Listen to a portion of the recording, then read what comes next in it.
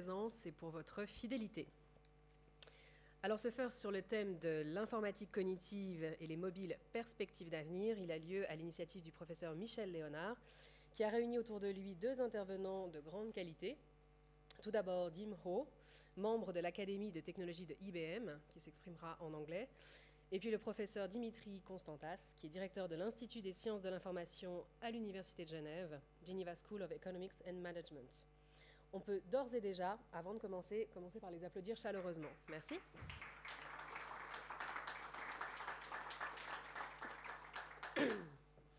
Alors cette formidable aventure que sont Résonance et ses 15 firsts annuels est rendue possible grâce à la Fédération des entreprises romandes de Genève qui nous accueille ce soir et grâce aux membres Premium Résonance qui s'abonnent pour soutenir, pour publier sur résonance.ch et pour bénéficier de privilèges, notamment de rabais sur des événements organisés un peu partout en Suisse romande.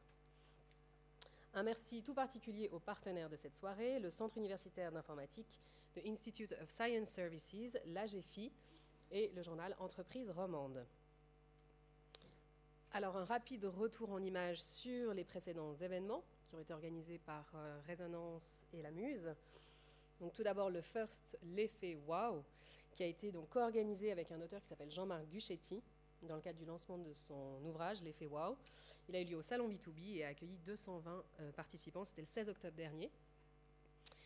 Euh, Résonance était également partenaire d'un congrès qui s'appelait le, Trace Future Conference, qui a eu lieu à l'EPFL les 29 30 et 31 octobre dernier, dans le cadre duquel a eu lieu également un FIRST qui a accueilli 200 participants. Et puis on a eu le bonheur aussi de soutenir la semaine de l'entrepreneuriat, au travers notamment d'un pique-nique spécial en présence des étudiants à la Muse le 17 novembre. Et puis vous pouvez ouvrir vos agendas pour les prochains événements à ne pas manquer, parce qu'on n'arrête jamais. Donc, un vernissage, euh, vernissage d'un bouquin qui s'appelle L'art de développer son réseau relationnel, qui a été coécrit par Geneviève Morand, qui est la présidente de la Fondation Muse, et euh, Michel Sintès, qui est le co-inventeur de la Daytona de Rolex, qui font le vernissage de cet ouvrage à la Muse, à Genève et à Lausanne, les 15 et 16 décembre lors du pique-nique. C'est libre et gratuit. Voilà, on a aussi le bonheur de co-organiser euh, très régulièrement, euh, à peu près un jeudi chaque mois, une causerie qui s'appelle les causeries du jeudi. Et la prochaine, elle a lieu le 18 décembre à la Muse Genève sur le thème euh, du numérique au chevet de la santé. Et elle sera animée par Christian Lovis. Voilà. C'est également libre et gratuit. Vous pouvez d'ores et déjà vous inscrire.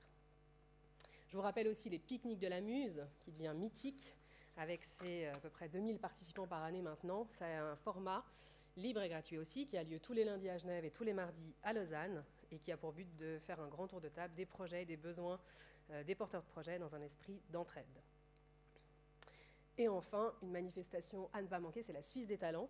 Elle a eu lieu pour la première fois cette année ici à l'Affaire Genève en janvier. Et on a le bonheur d'organiser la seconde édition l'année prochaine à la HEARC Neuchâtel le 18 mars 2015. C'est la grande fête de tous les lauréats de prix à l'entrepreneuriat et à l'innovation de notre région. Voilà, et puis quelques informations pratiques pour les personnes qui souhaitent se connecter au Wi-Fi. Vous pouvez le faire avec les identifiants qui sont inscrits juste ici. Vous pouvez tweeter pour les, les geeks sur le twitter.com euh, slash résonance avec le hashtag RéseauFirst et suivre Résonance sur Facebook. On essaye aussi régulièrement de mettre en ligne les vidéos des First sur la chaîne YouTube Résonance TV. Je passe maintenant la parole à Madame Véronique Kampfen, qui est la directrice du département communication de la Fédération des entreprises romandes de Genève. Merci de l'accueillir. On peut.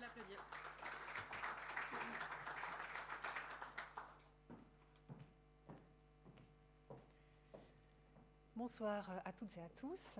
À mon tour, j'ai le très grand plaisir de vous accueillir ici au nom de la Direction générale de la Fédération des entreprises romandes de Genève pour vous souhaiter la bienvenue à ce FIRST portant sur l'informatique cognitive et les systèmes mobiles. Un sujet technique et très pointu s'il en est, mais je crois que ce soir les intervenants vont savoir vous les expliquer certainement mieux que je ne vais tenter de vous le faire dans une très courte définition. Alors avant de comprendre ce qu'est l'informatique cognitive, il faut se rappeler que les systèmes cognitifs sont des systèmes complexes de traitement de l'information, capables d'acquérir, de mettre en œuvre et de transmettre des connaissances. Il s'agit de phénomènes comme la perception, l'intelligence, le calcul, le langage, le raisonnement et la conscience. De nombreux domaines sont touchés par ces notions, comme la linguistique, l'anthropologie, la psychologie, les neurosciences, la philosophie ou encore l'intelligence artificielle. Si l'on rapporte ces notions, ces définitions à l'informatique, alors on comprend que l'informatique cognitive permet d'utiliser les données en leur donnant du sens. Le sens permet de passer de la donnée brute à une donnée permettant l'action. On pense souvent que les machines servent à remplacer l'homme pour des travaux fatigants, fastidieux ou répétitifs. Aujourd'hui, les machines remplacent aussi les hommes pour des tâches à forte valeur ajoutée. L'informatique cognitive introduit ainsi une révolution dans la relation que nous avons eue avec l'informatique. L'ordinateur ne prend plus des décisions sous la forme oui ou non, mais il arrive à agréger plusieurs informations et en faire sortir un résultat intelligible et dans de nombreux cas intelligent, au sens où nous les hommes nous l'entendons. L'ordinateur est désormais capable de réponses subtiles qui laissent augurer de développements passionnants. Je vous souhaite une très belle conférence et je vous remercie pour votre attention.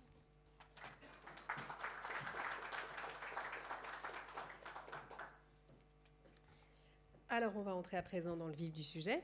Et pour ce faire, j'ai le bonheur d'accueillir donc le professeur Michel Léonard, qui à l'initiative du FIRST de ce soir. Merci de l'accueillir très chaleureusement. Michel Léonard.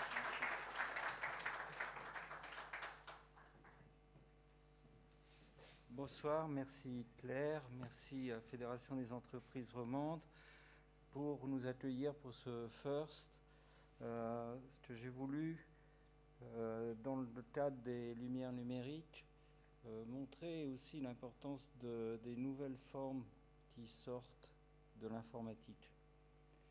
Et faites attention parce que ça va venir beaucoup plus vite qu'on ne peut le penser.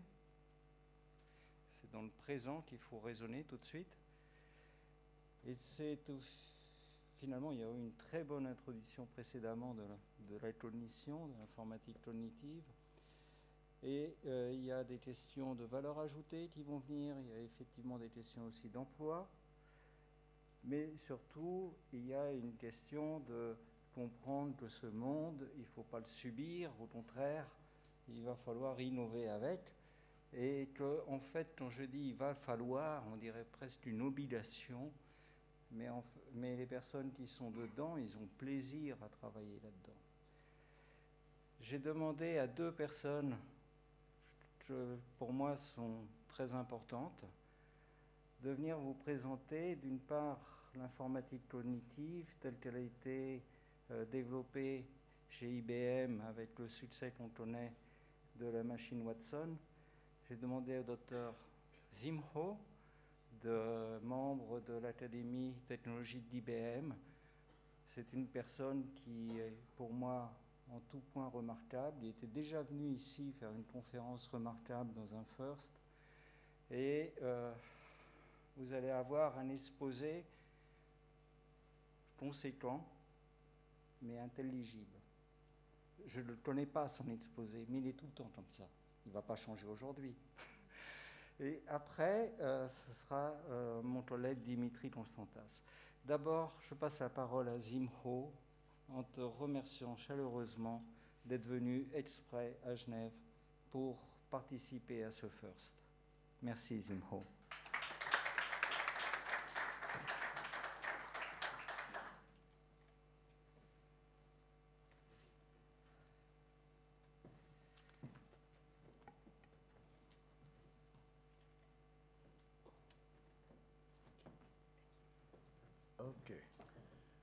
Thank you very much for uh, your nice introduction, and thank you very much for inviting me. It's a great pleasure to be back here again with you. And uh, it's my pleasure to talk about cognitive computing because I think this is a, a turning point in uh, a computation. Uh, okay, as, as uh, Professor Leonard introduced, I'm a member of the academy. But any of you know what the academy is about? Well, I guess not. Eh? Uh, the IBM Academy is actually where, supposedly, where the top scientists are until they elected me. uh, um, And, but my, my day job is actually I manage uh, university relations for IBM in uh, Europe, uh, Middle East, and Africa. Eh? Among the things I do is actually I go around and look at uh, uh, interesting research projects uh, where we think that there will be big impact uh, to the society, uh, big impact in technology, and we try to fund it. And that's one thing we do. Second, second thing I do is uh, try to have universities to develop the skills uh, for their graduates so that when they graduate, they can get jobs easily. Uh, and the third jobs I do uh, in my daily job is uh, looking for the best and the brightest to bring them to IBM. So quite egoist, okay? but that is the kind of job I'm doing. So it's my pleasure to go into uh, this presentation. Okay. Uh, we believe that okay, we are passing uh, from uh, tabulating system era to programmable system era to cognitive system era. Okay? So in order to what I mean by cognitive system, then we look at the definition here. Okay? That means a cognitive computing system learn, interact naturally with people uh, to the extent that, to the extent that neither the machine or people can do that well separately. Uh, but the most important point is the system learn and mimic the way our brain work. That's what I mean by cognitive system. So don't worry that the cognitive system is going to replace us. Not yet. Okay? They are there only to work, to assist us, to augment our capacity. Okay? So, uh, so you can look at it uh, from tabulating to pro programming. But what is really triggering cognitive system? Actually, the whole point is big data. You hear a lot of big data, but you say, what the heck? It depends on what we do with it. Eh? But big data poses a technical, a technology problem very simple, is we cannot do anything with it unless we change the way we do computing. Eh? So the big data, uh, with the fact that there are a lot of data, they, uh, they have continuous data, they have high speed, they have uh, um, a variety of the data. It's not only structured data, but non-structured photo, video, a lot of things. And the question is, do we have the technology to process them? And worse, the data we have are not reliable either. Okay? So these are the things considered a challenge for technology. And that is the consequence is we are at the turning point eh, to transform the, the regularly, uh, the regular IT information technology to a higher level. Okay? Okay, that is reason why you see I call social, mobile, cloud, big data, analytics. These things are the, the, tipping, the tipping points or the triggering point eh, that push us into a turning point in computing. So I have the definition, I talk about the evolution in computing. Uh, so what is a turning point? Actually, when IBM create the Watson system and win the Jeopardy challenge, right? that is a milestone. The Jeopardy challenge, I don't know whether you are familiar with it, but it's more or less like a question pour un champion. Right? That is a rapid Q&A. It cover what? Okay. It, it has a broad open domain to look at. Okay.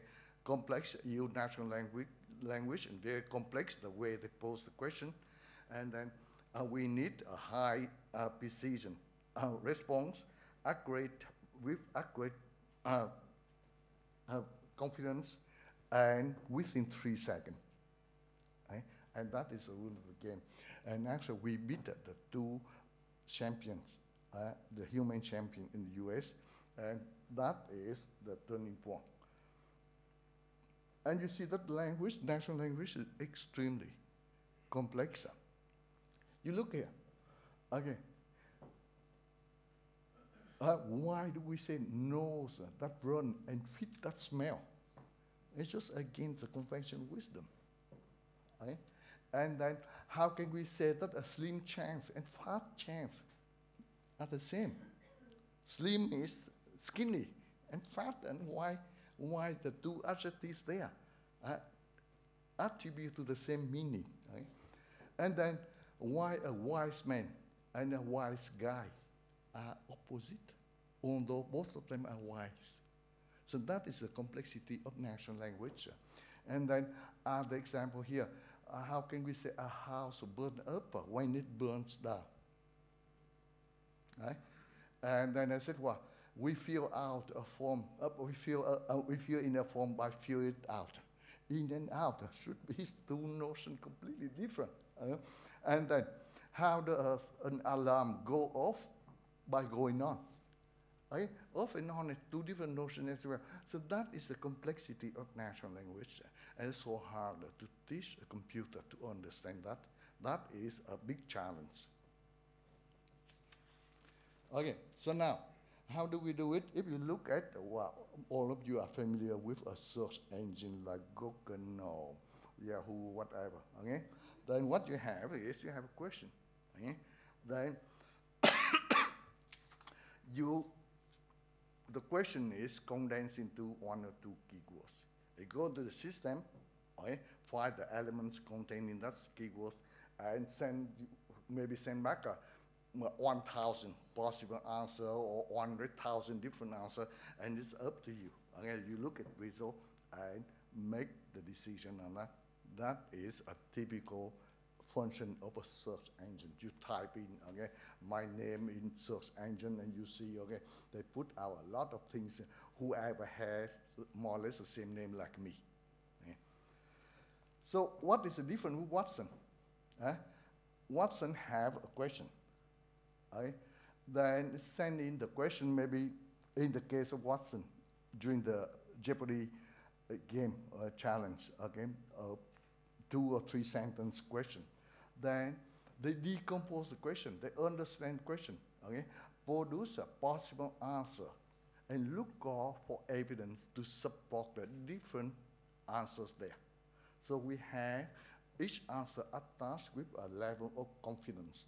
And going back there, and it's up to you to make decision. And most of the time, you will get the, the answer with the highest level of confidence. That is the difference between the Watson game and the search engine. Okay, so in short, uh, what does that mean? That means the system understands natural language and human communication. Okay?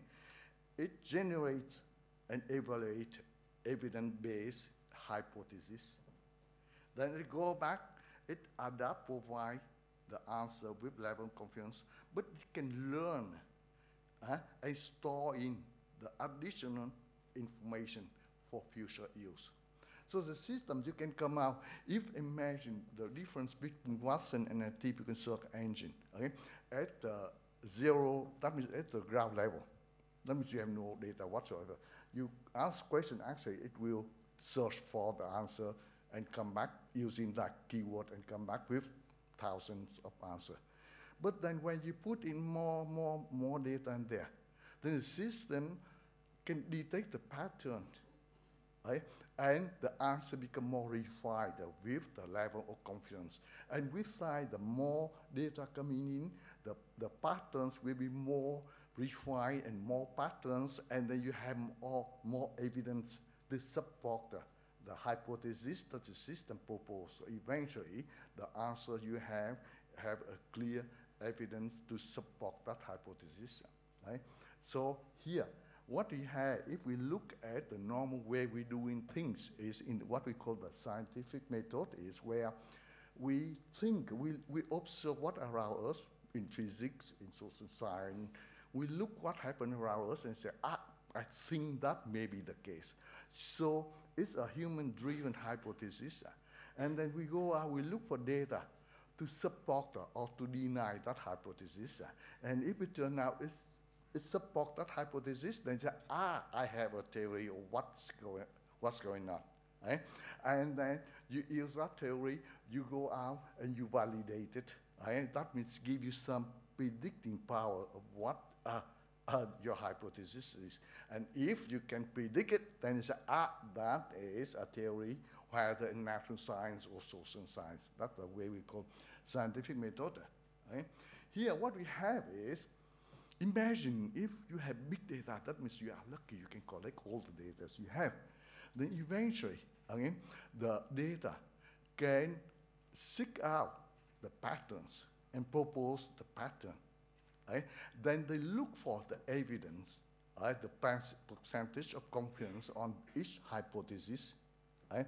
And the key point is learn, the system is learning. So the more you deal with that, the better a hypothesis will be.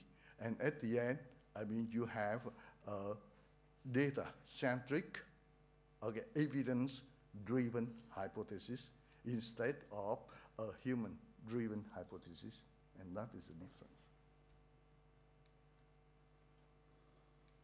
Okay, to give you the difference between the way we look, we, you look for keywords matching in the answer, okay? For here, this is the example. Okay, the question is, this is the real question in the uh, Jeopardy uh, um, game, okay? In May 1898, Portugal celebrated the 400th anniversary of this explorer arrival in India. So the question is, who is this uh, explorer? Okay? So of course, okay, if you do, you decompose the question with different keywords celebrated in May uh, 1898, okay, 400 anniversary, Portugal, India, arrive, uh, explorer, etc. Okay?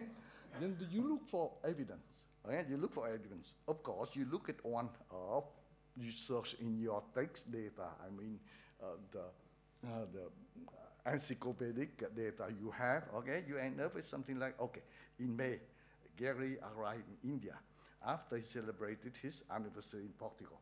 If you look at keyword matching, they are good. There's so many matching. Arrived, celebrated in May, anniversary, Portugal, India. So they say, ah, wow, I got the answer. Okay? So you say Gary is explorer. Okay? But uh, unfortunately, and you see that, okay, Gary is the answer, but the system must learn eh, um, that the keyword matching may not be the best solution possible. Okay? Look at another alternative, the same thing, okay, the same question, okay? Decompose question by different keywords there. But we have a, a deeper analysis, okay? We find another evidence, another example here. On the, 20, on the 27th of May, 1498, right, Vasco da Gama landed in uh, Cap Beach, Cap Beach. Now, if you look at it, okay, you have much in here. Landed in um, 1498, that is 400 years, okay, later. Okay, you have date March, you have paraphrase, much like arrival in, so you have landed in, okay. Uh, uh, Beach is in India. It requires a deeper analysis and deeper knowledge of the evidence, okay. So eventually, okay, you conclude that uh, Vasco da Gama is the explorer relating to the question. So, I mean, search far and wide, explore many hypotheses, uh, okay, find and just evidence, right, and use using many inference algorithm, right, and that makes Watson more reliable in the way you look for the answer. Okay, so how does it do? To summarize what I described is actually when you have an inquiry, okay? Uh, then you decompose the inquiry. I'm sorry, I don't know why we have problem there, okay? Then we generate, we use uh, the answer software to look for different potential, okay, hypotheses, and then we use evidence database to confirm that.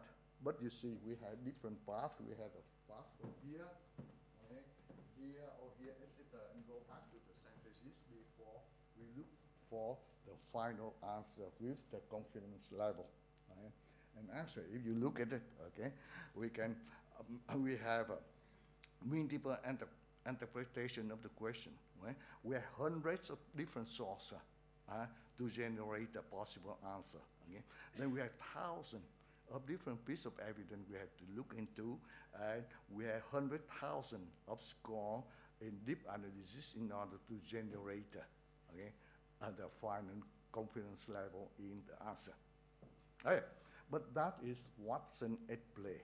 That is a contest against jeopardized challenge in the jeopardized challenge. So we have only one user, but the Watson now, if we talk at the Watson at work, uh, we have tens of thousands of concurrent users.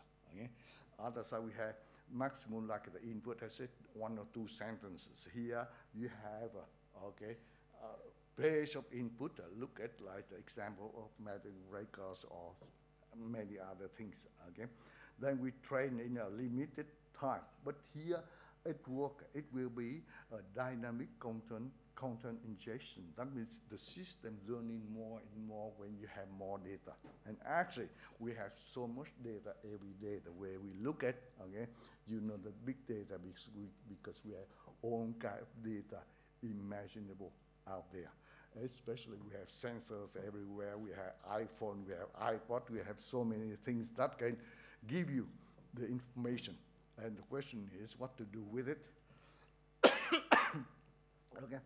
In, in the Watson at play, the way we did it, we didn't care much about evidence. Well, we did care about evidence, but not the way if we want to use it at work seriously. Okay? So the evidence is an integral part in the analysis. Okay? Uh, in the game we play, it was only text. But in reality, when we had to work, you know that we have all kind structure, unstructured data, video, photo, everything else. Mm-hmm. And the Q, it was only a Q&A model. In the real work, especially the things we did in, in uh, healthcare, for example, it has to be in the conversation, conversational mode with the user. And um, in the game, okay, security is not a primary concern, but when we do, in the case of healthcare, you know that the security and the protection of data is extremely important. That's why we cite the, the HIPAA, that is the the Health Information Protection and Accountability Act in the U.S. as an example of that whatever we do, we have we have to observe strictly the com the compliance and the law of the country. Okay, so okay, what have we done? Okay, in uh, like I said, we started project in 2006. Okay, and we won the game in 2011. And from there we said, ah, now we can put it to work. So we focus in, uh, from 2011, we focus on healthcare. Actually, we, we work with uh, two institutions in healthcare. One is about uh, focus on the operation, the other focus on disease protection and detection, in particular uh, in cancer. Then we work with banking, financial institution, to use uh, with big data, try to use Watson. And that is we start from 2012 on. Eh? And now we start uh, to do, to collaborate with other industries in order to be sure that, okay, they can take advantage of the technology in Watson to do, uh, to enhance their capacity, capability. Okay? So the potential user here, you can see healthcare service provider, government, healthcare insurer, and you can empower patients because this we, we help in education institution, in research and finance banking, especially in research. Okay? If we use it correctly, imagine in research, for example, in pharmacology, doing research to create a new drug. Well, 10 years ago, it cost about five, what, $800 million to create a new drug. Uh, we talk only about a month ago. Okay? They said that it costs uh, $2.2 billion to create the new drug. Uh, well, I, I would advise you not to believe in it because uh, a, a lot of pharma companies just push up the number in order to gain on the IP protection. Okay, but anyway, the, the one thing you know for sure is it's very, very costly to create a new drug. Imagine if we can use Watson to accelerate the discovery. Imagine that we need to detect some patterns, some pathology in the disease and some pattern in the potential uh, uh, drugs which can match and can help to treat the disease. Okay? That's what we call accelerated discovery. And if we can reduce from 800 million to 400 million, you see, make a big difference. And that's why, okay, in research in institute, in pharma companies, that is something we can help to make a difference. What, uh, what I call Watson can